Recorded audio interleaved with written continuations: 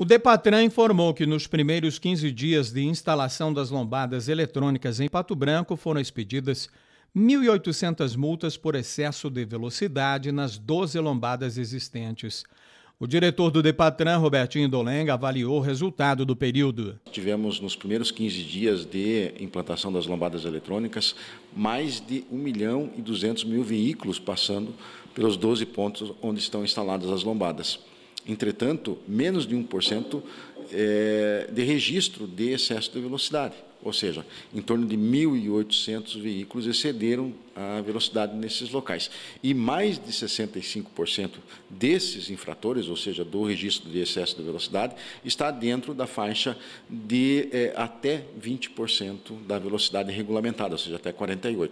Significa dizer que há uma, uma aceitabilidade, os motoristas estão empreendendo uma velocidade menor nesses locais. Prova disso é que nós não registramos nenhuma ocorrência de acidente nos 12 pontos onde estavam, estão, melhor dizendo, ah, implantadas as lombadas eletrônicas. A pergunta agora entre 10 de 10 patobranquenses é em relação à velocidade máxima das lombadas eletrônicas aqui em Pato Branco, todas limitadas a 40 km por hora. A população quer saber se não seria possível aumentar a velocidade nesses pontos para 50 quilômetros, quem sabe. Segundo o diretor do Depatran, esta velocidade pode ser modificada, mas vai depender ainda de um estudo técnico.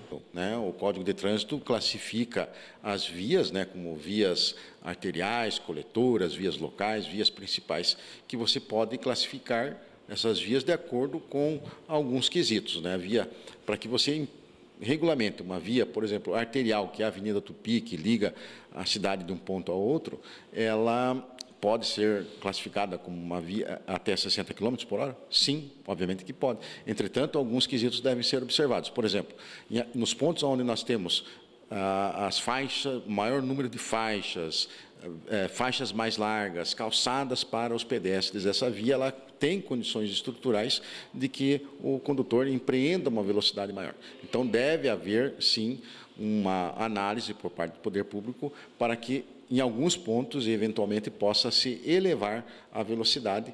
Né? É, aí sim, a partir desse momento que você elevar e regulamentar a velocidade nesses pontos a 60 por hora, por exemplo, aí sim você pode reduzir a velocidade a 50 km por hora.